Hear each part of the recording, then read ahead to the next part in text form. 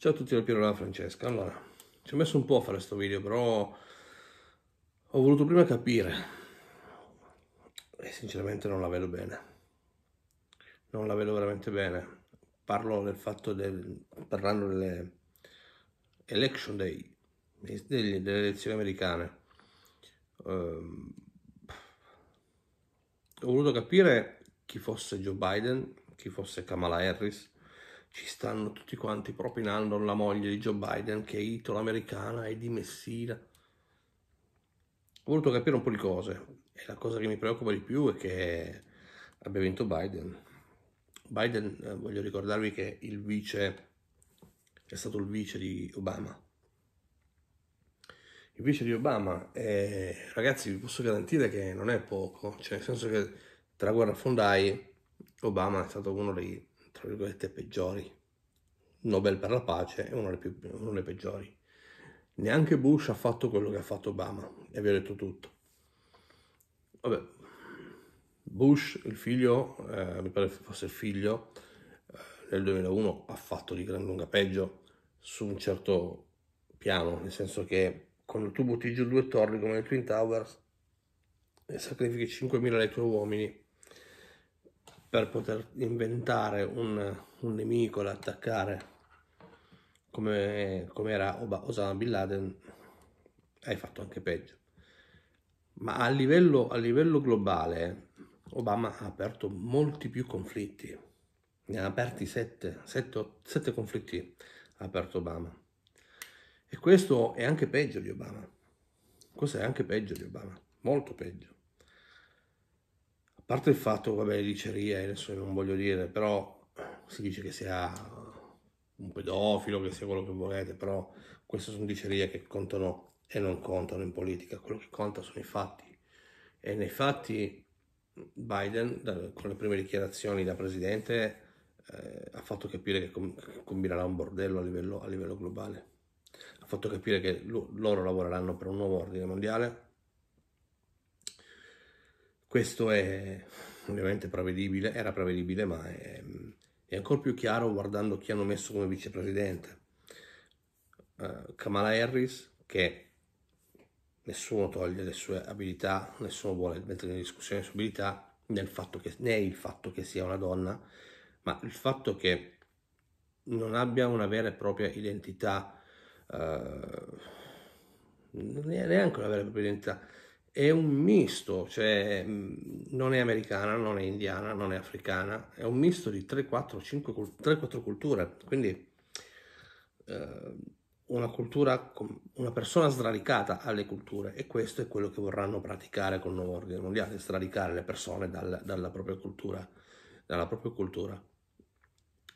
E, e partiranno, con la, partiranno con il Covid, ve lo dico chiaro per quanto io continuo a ripetere, il Covid c'è, bisogna fare attenzione, mettiamoci la mascherina, facciamo attenzione, disinfettiamoci le mani, laviamoci le mani, eh, manteniamo le distanze, il Covid c'è.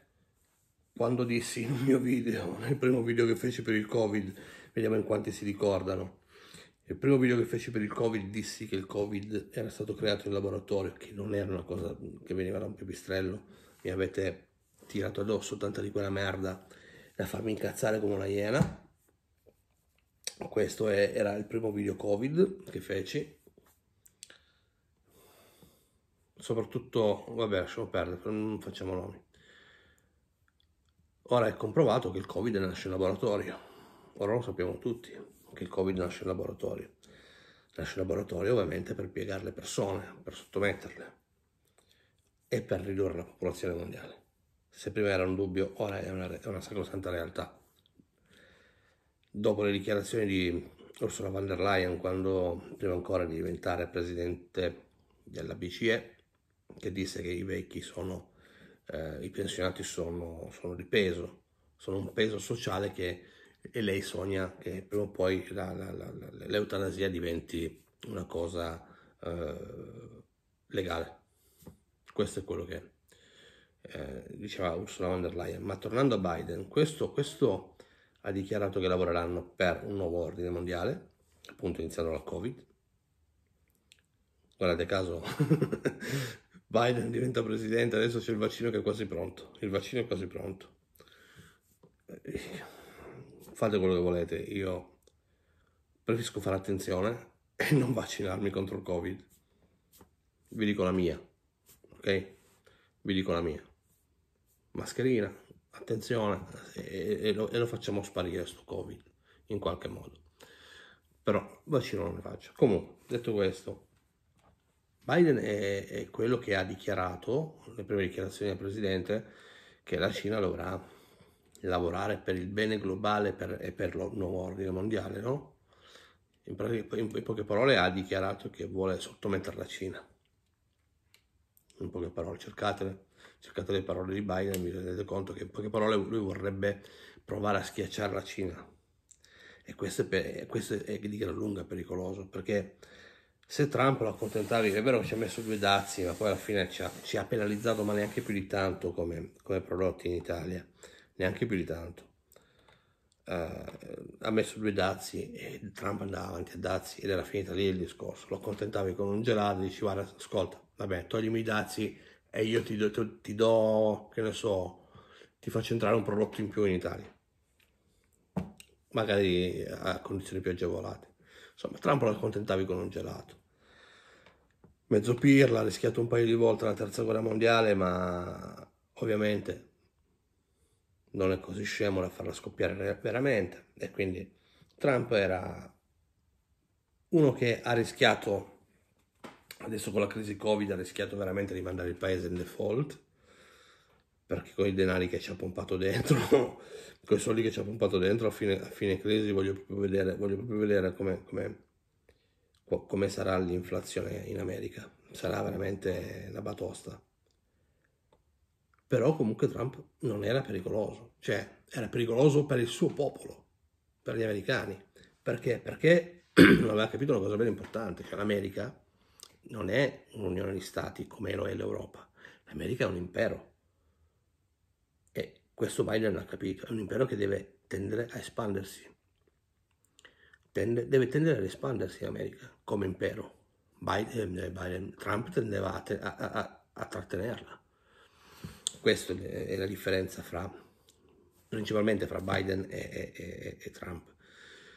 C'è da dire che l'America, l'America eh, ha, bisogno, ha bisogno dei conflitti come l'Italia ha bisogno della pasta al pomodoro, per fare un esempio ha bisogno dei conflitti perché? Perché devono, eh, perché hanno un debito, un debito troppo alto. Ha bisogno di conflitti perché non ha, fra, fra i dieci paesi che hanno più petrolio, l'America è al decimo posto. Al primo posto non ci sono gli Emirati Arabi, c'è il Venezuela, con 266 milioni di barili, mi pare, andate a controllare. Un paese che muore di fame tra le altre cose. Biden, Biden è pericoloso perché? Perché se va a stuzzicare la Cina viene fuori un bordello. Avete capito? Allora io vi dico, Biden è veramente pericoloso. Trump non era quello scemo di Salvini. Trump, grosso modo, sapeva cosa faceva e lo ha dimostrato il fatto che nelle elezioni è arrivato quasi a testa a testa con Biden. Queste elezioni sono durate quanto la risurrezione di Gesù Cristo, fatto prima di Gesù Cristo risorgere. Quindi capite che eh, Trump è arrivato testa a testa con Biden e vuol dire che se l'è giocata bene, vuol dire che comunque gli americani non hanno apprezzato abbastanza. Capite? E non è detto che Trump non si ripresenti alle prossime elezioni, eh? Attenzione. Io sono dell'idea che questo è stato messo lì dalla cricca, Biden, e combinerà dei veri bordelli, dei veri bordelli. Combinerà dei veri e propri bordelli Basta guardarli in faccia, sta gente qua. Basta guardarli in faccia. Comunque, questo è quello che penso io sulle elezioni americane. Bacio l'abbraccio per la Francesca e ci vediamo nel prossimo video. Ciao!